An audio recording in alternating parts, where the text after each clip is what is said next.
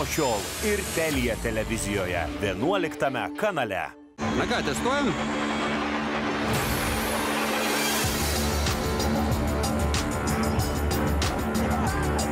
Patirkite greitį su Teledu laisvu internetu. Išbandykite jį 30 dienų nemokamai. Teledu, ką mokėti daugiau? Gera, kai mažiau yra daugiau. Nes kai mažiau skausmo, daugiau džiaugsmo. Mažiau išlaidų, daugiau galimybių. Nes mažiau išleidote, daugiau sutaupėte savo. Kamelija - mažų kainų vaistinė. Nissan Qashqai su naujais galingais varikliais ir penkerių metų garantija dabar nuo 16 900 eurų.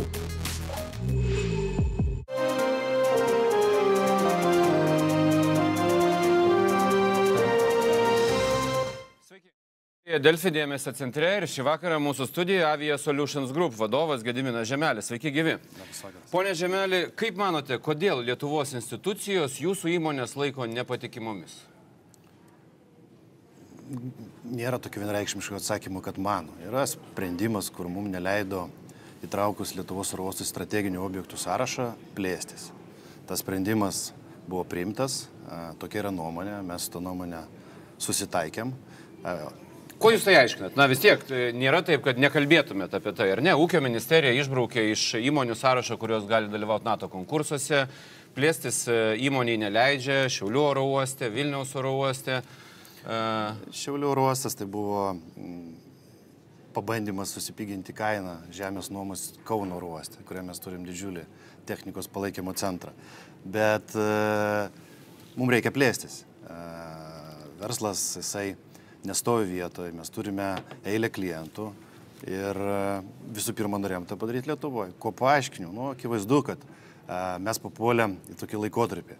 2013 metais prasidėjo pabaigoje turbūt mūsų projektas Rusijoje su Žukovskiu. Mes e, tada nebuvo jokių sankcijų, nei Čemezovui, nei Rostechui, nei bet kam kitam. A, Nes dar Krymas priklausė Ukrainai. Jo. E, Tada vasario mėnesis atsirado sankcijos jau 14 metų, bet mes jau buvom laimėję tenderį. Mes jau buvom pasirašę įsipareigojimus. Nevykdai, nevykdai tenderio sąlygų, negali nedaryti. Ir šitas nedėkingas langas e, sujaukia, aišku, bendrus planus šitam regione, jautru, pasienis, viską puikiai suprantu. Ir toks sprendimas. Ir tuo metu buvo ir traukti objektai į strateginių objektų sąrašą. Bet aš tokį gerą palyginimą turiu. E, Yra įstatymai, kad karo atveju žmonės turi suteikti savo transporto priemonės kai armijai ir taip toliau ir taip toliau. Kariuomeniai. Kariuomeniai. Tai galima tada sakyti, kad ir automobilis yra strateginė priemonė ir su juo negali bet kas važinėti Lietuvos keliais. Na, jeigu taip pajokaukime. O aš galvoju, kad e, e, šiaip e, 66 š- pasaulio šalyse mes turim savo buveinės. Yra įvairūs būdai, kaip e, valstybės institucijos saugoja savo ri- rizikas ir valdo jas. Akivaizdu, kad uostai yra per, žiūrint per prizmę padidintos rizikos. Terorizmas, tai yra mūtinės ir pasienio zonos. Aišku, turi būti priežiūra. Na, bet ne dėl terorizmo Jo, bet... bet- į jūs žiūri saugumo departamentas, ne dėl terorizmo grėsmės, į jūs žiūri dėl e, įtartinų ryšių. Aš galvoju, jūs irgi žiūri. Tik jūs tam mažai mažiau žinot negu aš. Ne, aš tai nieko nežiūriu, aš klausiu. Tai, e, bet jūs e, keletą dalykų jau palėtėt, kurie iš tiesų yra e, įdomus. Kaip jūsų įmonė atsidūrė apskritai Žukovskio oro uosto projekte šalia Maskvos? Žukovskio oro uosto projektų, kaip iš didžiulės infrastruktūros padaryti ją komercinį veikiančią e, įmonę. Taip, oro uostas ten, galim paaiškinti, oro uostas ten buvo nuo sovietinių laikų didelis, ten ir eksperimentinė bazė ir taip toliau, didžiulis e, oro uostas šalia Maskvos. Tarybiniais laikais ten vyko apie 20 tūkstančių bandomųjų skrydžių. E, Dabar vyksta 300. Tai yra milžiniška infrastruktūra, kurią valstybė reikia išlaikyti ir ją arba komercializuoti, arba kažką kitką sugalvoti. Yra du nusileidimo takai. Ruosto teritorijoje 2,5 tūkstančio hektarų, Vilniaus 315, tai čia maždaug 8 kartus didesnis. Ir akivaizdu, kad likus tiek mažai skrydžių, valstybė galvoja, ką ten padaryti. Ten be viso to dar yra speciali režiminė zona. Ir ten aš su lietušku pasu net negaliu patekti į patį oro uostą. Nes taip, tok, tokia pati sistema yra Tulūzos, Leburžė, Venecijos oro uostas, kur irgi yra technologinės įmonės, kur surinkami lėktuvai arba atskiri jų Taip, tai kaip jūs agregatai. ten atsidūrėt? Labai paprastai. Mes, aš labai mėgstu laukostų istoriją, jeigu pažiūrėti mano puslapyje asmeniniam, ten yra sudėtos visos laidos, kuriuose aš dalyvau ir kalbėjau apie laukostus. Aš 11-12 metais buvau pakviestas į RBK televiziją ir nagrinėjom, kaip vat laukostai atsiranda. O laukostai e, yra du geri pavyzdžiai, tai yra Rainieras ir Izidžetas. Jie iš principo e, turi tokią specialių modelį, kai lėktuvai buvo nupirkti gerokai pigiau rinkos sąlygų ir jie tad savo savikinai neturi lėktuvų. E, Dėl to, kad jie buvo nupirkti per krizę po rugsėjo 11, rugsėjo 11 įvykio Amerikoje. Ir e, yra dar du gamintojai pasaulyje, kurie turi blogai parduodamus lėktuvus. Vienas iš jų yra Suhoj Superjet. Ir aš pradėjau sukti mintį, austi mintį, kad e, tam lėktuvui, kad jis pakiltų į tokias aukštumus, kaip šiandien yra Airbusas arba Boeingas, jam reikia didelio užsakymo. Ir pradėjau siūlyti iš, iš mūsų biuro, kad e, kodėl nepasvaršius e, sukurti pigių skrydžių bendroje, kuris skraidys laukosios. Rusijos rinka, lėktuvas, o mes kaip organizacija galėtum juos aptarnauti.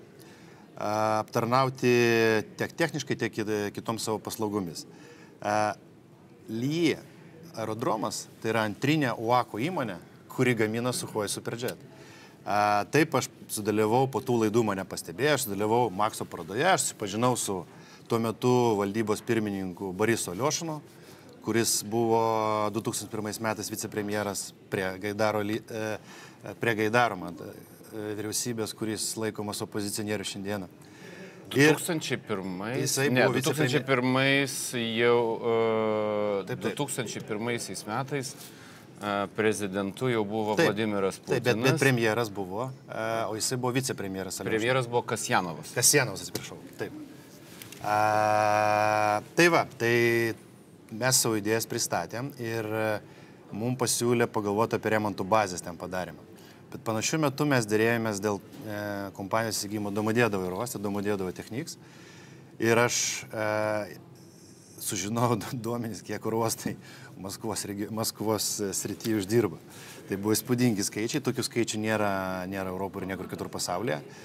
Ir aš pagalvoju, kodėl iš to uosto negalima padaryti kažką plačiau. Mes turime visas reikalingas kompetencijas, remonto įstaigas, antžeminį aptarnavimą, kūro užpilimą. Ir taip ir gimė, kad e, reikėjo sklypo tame oro uoste, nes ten yra e, specialios zonos, tu nieko nu, neįsigysi. Bet e, buvo parodas organizuojanti organizacija, TVK, kuri 100 procentų priklauso Rostiecho antrinį įmonį, o ta jau Rostiecho įmonė priklauso Rostiechui. Jis turėjo ir tebe turi šiandien 180 hektarų žemės klipų parodom organizuoti. Tai dalis tų sklypų, 40 hektarų, buvo įnešta į bendrą įmonę, mes įnešėm pinigus ir taip iš didelės 2500 hektarų teritorijos buvo atskirta dalis, ten nu tvora pastatyta ir ten buvo nuimtas režimas ir ten aptarnaujami keleiviai. Tai buvo Tai nu- jūs įkūrėt bendrą e, įmonę kartu Su su. Rochtechu, e, kartu su Rochtecho dukterinė įmonė, ar ne? nedukterinė, anukinė. Na gerai, bet bet kuriuo atveju vis tiek e, viskas priklauso, e, akcijos priklauso e, Rostechas, yra valstybinė įmonė viršuje piramidės, ar ne, jie turėjo 25 procentus, Taip. jūs e, 75. Taip. Teisingai. A, Tai buvo, kol dar nebuvo įvestos sankcijos, tai buvo 2013 m. gruodžio mėnesį mes laikėjom, laimėjom konkursą. Ir e, tuo metu, jeigu, jeigu dar pasidomėt, Rostechai turi bendrą įmonę su Boeingu, kuri kurta 10 metų prieš tai 35 procentai Titano į Boeingą važiuoja iš tos bendros įmonės. Jo šiandien veikia Rostechas, turi bendrą įmonę su Mercedes, su Daimler Benz, su Nissanu. Ir e, nu, tai yra pramonės e, koncentracija vienoje organizacijoje. Ir jeigu nori kažką daryti Rusijos teritorijoje, e, tai yra tas partneris, kurį valstybė siūlo iš savo pusės. kaip jūs susipažinot su Sergejum Čemezovu, Aš su e, Rostecho e, vadovu? Va, tai čia labai irgi geras klausimas. Aš su juo asmeniškai nebuvau pažįstamas iki 15 gal metų, kai vienam bendram renginė mane pristatė, kad aš esu tas investuotojas, kuris investavo. Kaip 15, čia Mezovas, nu, supraskite, multimiliardiniai kompleksai, toks dalykas ten yra labai mažas. Ir jam, nu, net ne jo lygis spręsti tokį sustarimą. Jie kasdieną pasirašo. Tai kas buvo tas žmogus, kuris pasakė, kad Gediminai, gali daryti čia šitą reikalą? Ne, aš buvo inicijuotas tenderis ir tam tenderį dalyvavo mes ir Novoportas, kuris yra 50 procentų valdomas Kazahų ir 50 procentų Romano Trocenkos ir mes buvom dviesi, kurie dalyvavo šitam tenderį. Ir tenderėje mes davėm geresnės sąlygas. A, vat, taip viskas ir vyko. Nei Čembizo čia reikia, nei, nei dar kažko. Bet aš noriu patvirtinti, 19 metų tas projektas, kaip iš didelės infrastruktūros valstybė gali nustoti finansuoti ir ją konvertuoti į, į komercinę veiklą, 19 metų projektas gulėjo stalčiuje. Ir tai buvo galbūt generatorius mano idėjos, kad tenai a, nereikia daryti techninės bazės, nes ten angarų labai daug yra. O jūs pagalvokime, kodėl nekonvertavus į, į keleivinį terminalą. Ir pavyzdys buvo Tulūzos oro uostas, kuriame lygiai taip pačiai yra tvora, lygiai taip pačiai už tvoros yra e, remonto organizacijos, konstruktorių biurai, industrinės paslaptis ir taip toliau, taip toliau. Čia nieko unikalaus. Beje, Jūs, tas- jūs iš beje, to tas projekto oro- išėjote, ar ne? Beje, tas oro uostas Tulūzai valdomas kiniečių. Jūs išėjote iš to oro uosto. taip. Pardavėte akcijas. Taip. Už kokią sumą? Negalite? skelbt? Biški uždirbau. Negaliu. Kodėl negalite? Komercinė paslaptis. Kodėl nutarėt parduoti? Spaudimas didėjo. Ką reiškia Nu, spaudimas? sp- viešas spaudimas. Nu, e, jeigu tai mes būtumėm Vokietijoje, turbūt būtų užklaustas paaiškinimas, paaiškinime būtų patikti duomenys ir tuo viskas baigtųsi. Aš galvoju, kad tokių projektų išeiviai iš Lietuvos nedaro daug. Aš galvoju, kad šiaip mes organizacija esame labai didelė. Ir, e, ir, ir taip pasikartosiu, tai nebuvo vienas e, projektas, iš kurio kaip va, vienas jūsų kolega sako, mes pradėjom praturtėti visiškai nieko panašaus. Tas projektas galbūt atnešė daugiau žalos negu naudos. Dėl, būtent dėl viešų. Sakot, uždirbot. Tai Uždirbom, bet tai tos pačius pinigus mes neėmėm bankų paskolų, mes dėjom savo nuosavas, nuosavas lėšas, mes tos pinigus įdėję į kitą projektą, mes galbūt ga- gavę geresnę gražą. Mūsų įmonės tikslas yra multiplikuoti kapitalą.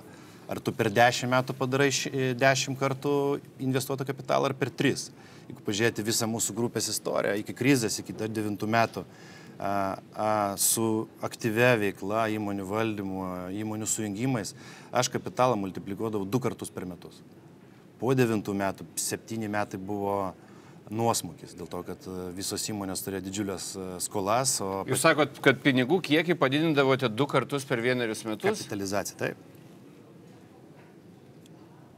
Kokiais čia stebuklais jūs tai darydavote? Nu, nei stebuklai, nei stebuklai. Kai yra, nu, jeigu e, kokį biznis keisą Harvardė paimti nagrinėti, kaip yra auginamas kapitalas. Visų pirma, e, žiūrint, kokį verslą tu darai, bet jeigu yra e, startupas, sakykime, startupas iki tam tikro lygio užauga, tada jisai, e, kad užfiksuoti vertę, jis turi daryti labai dabar madinga, lietuvių daug jaunimo to daro, pirmą raundą kapitalo pritraukimo. Pritrauki kapitalą, jau užfiksuoji, užfiksuoji e, sumą. Tada su lyg augimu būtina patekti į viešą kapitalų rinką. A, Viešo kapitalo rinkoje jau duodu visiškai kitą vertinimą, nes tie investoriai, kurie ateina, jie jau žino, kad ta pirminė rizikos stadija praeita. Pavyzdžiui, pirmoji mano bendrovė žvilgsnis arčiau. Mes ją įkūrėm 99 metais, aš ją pardaviau 5 metais. Mano investicijos buvo 10 tūkstančių eurų. Aš ją pardaviau už 2 milijonus eurų. Tai kiek čia kartų kapitalas buvo padidintas?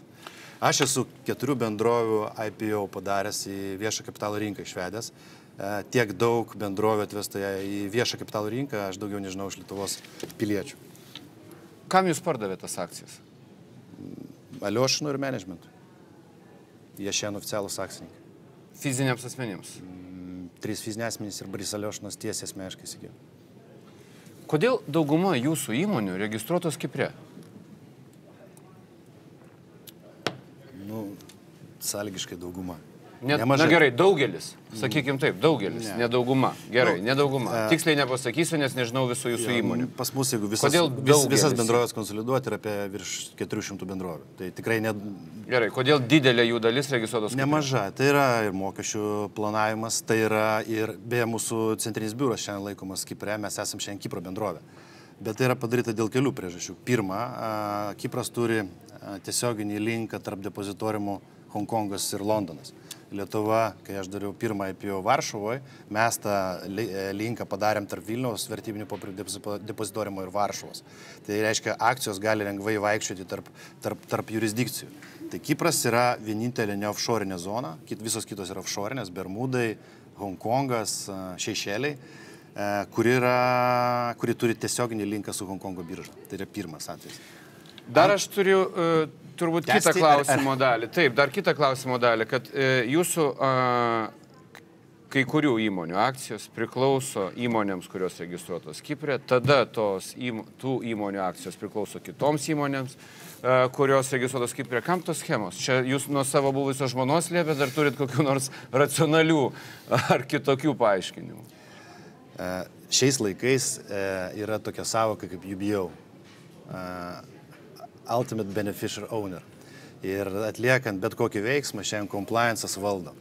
Kad mum padaryti bet kokį veiksmą su Boeingu, Airbus, su banku, obligacijom, mums reikia skleisti visą grandinį iki galutinio naudos gavėjo. Neįmanoma paslėpti. 2-3 metai atgal, gal, sakykime, buvo trasti, buvo valdytojai ir galima buvo, galbūt, galima buvo ne iki galo nurodyti schemą. Šiandien, jeigu tu turi bankę sąskaitą, neįmanoma a, neparodyti, kas yra galutinis naudos gavėjas. Grįžtant dar prie uh, Žukovskio oro uosto ir 3 ketvirtadalio akcijų pardavimo. Kas jūs spaudė, jūs sakot, spaudimas? Moralinis spaudimas? Visų pirma, a, pati ekonominė situacija. Aš jau tuo metu, kai mes jau laimėjom tenderį, buvo aišku, kad a, ekonomika dėl geopolitinių dalykų visų pirma Rusijos pasės. Tai pasėdo. A, Bankrutavo apie 20 milijonų keliaivių vežančios organizacijos. Ir iš greito projekto projektas tapo ilgas. Tai situacijos spaudimas, ekonominis spaudimas, pastovus linksniavimas irgi kažkiek duoda, nors oda užaugusi, šiek tiek stor, storesnė, bet nu, citavimas ne, nepatinka. Juolap, mes nesam Boeingas ir Boeingas padarė tą įmonę VSP Visma, dirba su Eurostechu. Aišku, compliance pradėjo uždavinėti klausimus. Va čia jūs turite įmonę, tai tos įmonės jau vadovas, va, ką jūs ir dabar užduodat, jis yra po sankcijom. Jo, mes nieko nepažydėm, mes viską, mes darėm tada, kada buvo galima daryti. Taip įvertinus tai, kad greito pelno ir multiplikatorius du kartai per metus nebeliko, nes krizė atėjo, įvertinus tai, kad e, tai kenkia ir užduoda papildomų daug klausimų, nusprendėm, kad verta susikoncentruoti į kitas rinkas. Ar jūs turite e, poziciją, kurią galėtumėte išsakyti dėl Krymo aneksijos? A, Kiekvienas bet koks pozicijos išsakymas iš mano kaip verslininkų lūpų a, gali būti vertinamas kaip politikavimas. Aš galėčiau, čia ne politikavimas, čia yra vertybinė pozicija. Galėčiau surasti tūkstančius e, žinomų verslininkų Lietuvoje, šimtus bent jau, kurie garsiai išsakytų tą poziciją nedvėjodami. Žiūrėkit, mes darom verslą Ukrainoje. Tai mes uh, turim ten pakankamai uh, nemažą dalį pajamų iš uh, kūro ir kitų veiklų. Ir uh, kiekvienoje šalyje mes uh, visada gyvensim pagal to šalies įstatymus, vykdysim veiklą pagal to šalies įstatymus ir nesivelsim į jokius komentarus. Nu, sakykime, Aš jūsų yra kita- klausiu kaip fizinio asmens, kaip žmogaus, kaip piliečio, kuris turi pažiūras, galbūt vertybės, įsitikinimus, kaip turi būti organizuojama e, pasaulio tvarka, kaip kas turėtų vykti, kokie procesai, kokias vertybės kas gina. Paprasto klausimo, ar, ar jūsų nuomonė e, Krymas turėtų priklausyti Ukrainai ar Rusijai? Neatsakysiu šitą klausimą, nes čia būtų politikavimas. Aš nesipareigonis nei vienai, nei Bet kitai. čia nėra politika. Taip, tai yra politika, nes Krymo klausimas, vat, visi kaip eilutė sustoja ir diskutuoja. Bet, e, sakykime, jeigu jiem reikėtų vat, e, tą pasakyti kitoj šalyje, pažiūrėtum, ar jie tą pasakytų. Kam? Aš, aš nesu politikas, aš atsiribojęs nuo bet kokio mąstymo, galvojimo apie politiką, nes aš tada turėčiau išeiti iš verslo. O aš to neplanuoju daryti, nes aš turiu viską, ko man reikia. Politikus remėt Lietuvos? Ne. Rėmėt anksčiau? Taip, kaip buvo galima remti konservatorius. Dabar kaip fizinis asmuo neremėt niekaip? Nu vėl, a, nu tai būtų nebent prilygima- e, prilyginčiau išė- išėjimui į cirką. Paremiai kokie politikai, jau jam tokią gerą padarai paslaugą. Viskas. Gerą kabutėse jūs turite. E, Jūsų naujasis direktorių tarybos narys Vygodas Ušackas kalbėjo apie ambicingus planus. Tarp jų įmonę išvesti į vieną didžiausių pasaulio vertybinių popierių biržų. E, Jūs tikite, kad artimiausių metų e, toks yra planas, Avia Solution Group e, bus, nežinau, New Yorko, Londono ar Hongkongo biržoje? Mes darom paruošimuosius darbus. Pas mus reikia suprasti, kad e, mes turim 66 šalis kaip savo bendrovės, bet mes turime gamybinius biurus 15 šalių. E, Mūsų auditas tai yra parašym, parašymasis auditas prieš e, viešą kapitalo rinką. Vien samata yra e, ten netoli 3 milijonų eurų. Tai yra labai daug, daug, daug. Kokia jūsų bus apyvarta šių metų? Lab- Įmonių patok- grupės. 1,7 milijardą eurų. Konsoliduota apyvarta visų bendrovų. Įsigytų ir a, tos, kurios jau buvo nuo seno. Kokį turite lietuvų kiekį šiuo metu per visas bendrovės visame pasaulyje? Čia turim ir operuojam. Valdot, gerai, valdot. E, yra valdom, operuojam, skraidom ir nuomojam. Tai čia vat, labai didelė grandinė. Nusavybės e, teise mes turim maždaug pusantro milijardo dolerių vertės lėktuvų. Tai yra mūsų bendra įmonė Kinijoje. Jis perka naujus lėktuvus ir tiekia kompanijom. A, Aviokompanijos, kurios skraido lėktuvus, bet jos skraido kaip šlapia lyzi- šlapias leasingas, reiškia mes duodam su įgula visą uh, capacity, o ne jau kliuojamas tos kompanijos, už kurią mes skraidom logo. Tai virš 50 lėktuvų, 500 daugiau. 52 lėktuvai. Ir, e, tai čia yra tiek šio, šio momento jūsų laivynas. Ne? 52 lėktuvai. 60 procentų vizėro. 60 procentų dydžio. lėktuvų priklauso Ne, jums. ne, ne, dydis. Ai, dydis. E, tiek, kiek 60 procentų vizeiro o, oro linijų. Tai grįžtant prie to, ką klausiau, tai jūsų planas yra e, artimiausiais, nežinau, mėnesiais, metais e, būti vienoje iš svarbiausių pasaulio vertybinių popierių biržų? Taip.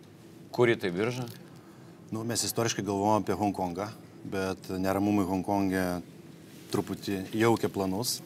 Kapitalo rinkos jos jaučia ir a, multiplai vadinami, tai yra įmonių kapitalizacijos vertė lyginant su kitom biržom susilygino.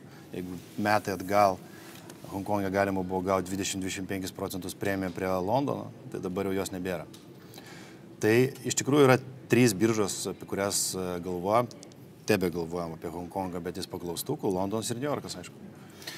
Na ir pabaigai, e, kad atrodytumėt kaip tikras turtuolis, bent jau e, Rusijos supratimu, turėtumėte turėti sporto klubą. Tai čia su tuo siejate, e, galima sieti, skaičiau jūsų kalbas apie tai, kad NBA komandą norite pirkti, jos prezidentu siūlytumėt Saboniai būti. Tai ir pirksiu klausimas. Čia klausimas labiau buvo apie įkvėpimą tokiam žingsniui, ar jisai jūsų verslo Rusijoje metu a, toks e, sėkmingo verslininko modelis, e, rusiškais standartais. A, Jachta kažkur e, viduržėmio jūrai, tikėtina viena didžiausių, e, turėtų būti ir būtinai arba e, futbolo arba NBA klubas. Šiaip tai aš gyvenu pakankamai kukliai. Ir pasipuikavimas nebent yra kažkokio tai verslo dalis ir, ir kli- klientam ir svečiam. O jeigu apie klubą, aš greb savo verslą grindžiu tolimų planavimų. Šiandien mes, pavyzdžiui, turim 2035 jau planą. Reiškia, kiek to reikės biuro, kiek to reikės darbuotojų, kiek to reikės vadovų, kaip reikės apmokyti. Lygiai taip pačiai aš savo asmeniškai sudėliau planą. O 20 metų į priekį. Vat ko norėtų žmogus arba du žmonės, kurie jau yra tų metų, 62, 65. Ką jis galbūt būtų daręs kitaip? Tai visų pirma, aišku, šeima turi būti didelė, vaikų turi būti daug, 60 metų jau nu, ruošti vaikų e, turbūt nebesigauna. Toliau, kuo tu norėtum užsimti? Tai e, brandus verslininkai, 60-65 metų, e, jie nori pirmą mokyti kitus ir pasidalinti savo žiniomis. Gerai, kryptingai. Ir kažkas eina dėstyti universitetus, kažkas tampa mentoriu kažkam. Antra, nori būti aktyviai versle, bet nedirbti tiek daug gamybiniam versle. Užsimti lobį, užsimti tarpininkavimu, aukšto lygio. Tai MBA klubas yra, manau, geriausias būdas užsimti aukščiausio lygio lobį, nes tu į areną gali sukviesti bet ką. Antra, tai yra gera investicija, nes pastoviai kyla vertėje. Trečia, tai yra geras palikimas, nes jeigu jaunosios kartos arba sekančios kartos nebus linkę į verslą, kad jais nepasinaudotų, duodi į fondą, fondas valdo, ten nesąmonės nepadarys, yra griežtos taisyklės ir visi tie klubai visada dirba pelningai. Istoriškai, dešimt metų visi dirba pelningai. Tai aš manau, visus tos tris kriterijus atitinka. Ir aš manau, kad tai bus a, gera transformacija, turint omeny, omeny kad a, gyvenimas yra labai trumpas. Labai trumpas. Ir vat, už posūkių penki metai prabėga va taip. Tai aš apie tai pagalvoju visų pirma. Gal jau žinot komandą, kurią norėtumėte įsigyti? Aš žinau, kurios, galima, kurios galimai yra parduodamos, bet jos biški virš mano biudžeto. Tai dar yra laiko. Taip. Kągi, ačiū Jums, kad atvykot pas mus laidą, dėkoju už pokalbį, dėkui žiūrėjusiems. Kita laida Delfi dėmesio centre pirmadienį. Gero vakaro, iki malonaus.